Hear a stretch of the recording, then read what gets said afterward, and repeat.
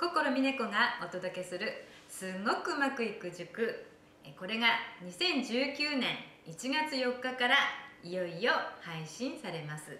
お届けするのは心屋流すごくうまくいく方法著者の心美猫とみねちゃん塾6期生のけいちゃんです。よろしくお願いします。よろしくお願いします。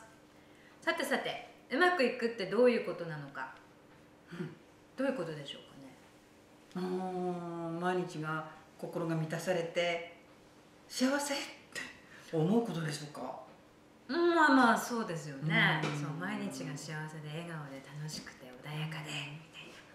まあそんな感じかもしれませんね、じゃあ、えーもうちょっと具体的にうまくいくっていうのはどうなんでしょうね、結構漠然としてるんじゃないでしょうかね、うん。うんあですよね、だからなんか私たちって、そう今みたいにうまくいってほしいなとか、うん。幸せになりたいなと日々願っているんだけれども、結構じゃあうまくいくってどういうことなんですか？って聞いてみると、うん。漠然としてると思うんですね。うん。なので、えっと、この動画配信が始まるまでにはい。ぜひちょっとね、えー一つ自分に質問してみてほしいことがあるんですね。自分にですね、はい、まあこれは、えーあなたにとってうまくいくとはどういうことなのか、うんそれからうまくいっていないっていうのはどういうことなのかそれを自分自身にちょっと質問してみてほしいんですね。でノートにちょっと書き留めててもらえるといいかなと思います。ああ些細なことでももちろんです。うんまあ些細なことほど 良かったりします。うん、ケイちゃんのうまくいってないっていうの状況かな？それはどんなことですか？うん？ちなうん私は、えっと、今仕事がフリーでやっているんですねでフリーだからあのまあ誰にも縛られずに。いいのかなとは思うけどでも安定収入じゃないっていうのは、うーん常々こうあっと思うことはあります。ありますよね。個人事業主の宿命とでも言いましょうか。ですね。ということはまあ安定収入がうんね入ってこないっていうのがうまくいっていない状況ってことだよね。ですね。ね。あとは？あと、まあ、自分でこうセミナーとかあとこうまあ、えーセミナーに呼ばれたりといった時のその集客ああ人がうん人が集まるのかなとか、無名の私に来てくれるのかなとか、そこはすごく怖い。うん、うん、確かにね、うん。私もその集客のねあのなんか人気のない私がちょいちょい出てきますけどね。もうでもそれでもけいちゃんね今度秋田市役所で頼まれたのもうすでに十数名あの集客があるのにこんな感じなんですね。人ってねまだまだだなって思うんですね、うんうん。で、えっと、今聞いて、まあ、ざっくり言うと2つだったんですけども、うん。ということは他の状況は多分うまくいまあ完璧ではないにしてもうまくいっている、要するに問題になっていないってことですよね。うん、もう自由だしとかね。うんうんうんうん。そうそうそう。なんか自分の好きなように、まあ、自由だっていう、うんそこが私の中では一番大きくって、うん。すごくこう、まあそこは満足。うんしてる、ですかな？ね。うん、でなんかその一つとか二つまあ確かにそこは大きい自分にとっては大きな悩みだとは思うんですけども案外人ってのうまくいってることっていうのは、えーもうすでに悩みでもないし問題でもないからうん。まずこう除外しちゃうんですね。ああでなので、うんえーもんあのうまくいってるところをあえてピックアップしてみる。うんうんと些細なことでもいいですよね、うん。今日も十分睡眠が取れたとか、うん美味しいもの食べれたとか。何でもいいんで。でうまくいってる状況っていうのをまず、えーピックアップしてみるうんってこともいいかなと思います。ですね。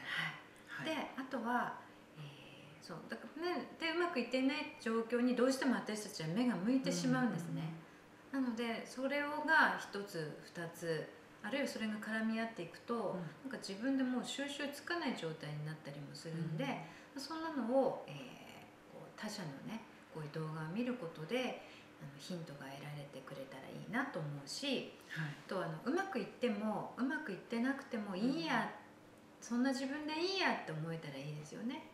ああですね、のであのそう思える秘訣といいますか、それはですねどっちにの状態でも100%自分は幸せに向かってるんだよっていうことなんですね。うんうんっていうのは例えばさっき、えー安定収入がないうんことがうまくいっていないって言ってましたけども、はいうんとってことはその、まあ、引き換えといいますか、うんさっき自由だっていうことを何回か口にしてたんですけど、自由な状態になりたいから仕事辞めたんですよね。うん。うん。ってことはなんか自由を手に入れた状態っていうのは、えー安定収入っていう部分ではうまくいってないかもしれないけどもその欲しい部分っていうのは手に入っていて、うまくいってるってことですよね。ですね、確かにそうですね、だからこれがもしあんまり仕事が入ってきちゃうと多分自由な時間が減るんですよ。本当だだから、うん。えー今のその状態っていうのも、えーうまくいっているあのうん。100%幸せに向かっている方向ですようね。ん。うん。で集客っていうのも、あの人が増えるとまあ批判も増えたりしますよね。うん。賞賛も多い分。うん。そしたらあの集客がないことによって傷つかなくて済むっていう、うんあのそれも自分をやっぱ守るといううん。意味では100%自分を幸せに持ってってあげてるってことなので。ああそっか。うん。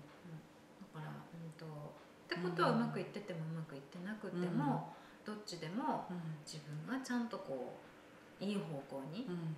自分をあの向か向かわせてくれてるんだっていうふうに、えうん。ー思えたりします。あーそうですね。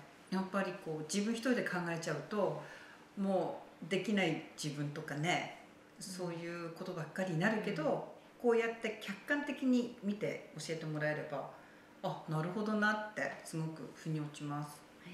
なので、うん。まあそうは言ってもやっぱうまくいってるっていうこの流れに乗る、うん、なんかうまくいってるってどういう状況なの？って言ったらやっぱ自分の流れに乗る、まあ、それを私は本流っていうふうによく言ってるんですけど、まあ、本流ってその自分のね魂が求める本来の生き方っていうことですね。やっぱその本流に乗った生き方ができれば、もっと楽しいあの充実したね人生が送れると思うので、まあ、その、えーうん。一助になったらいいかなとこの動画配信がねなったらいいなと思います。はい、ことで、えー1月4日から心みねことけいちゃんのお届けする、えーすごくうまくいく塾楽しみにしててくださいね。ではね。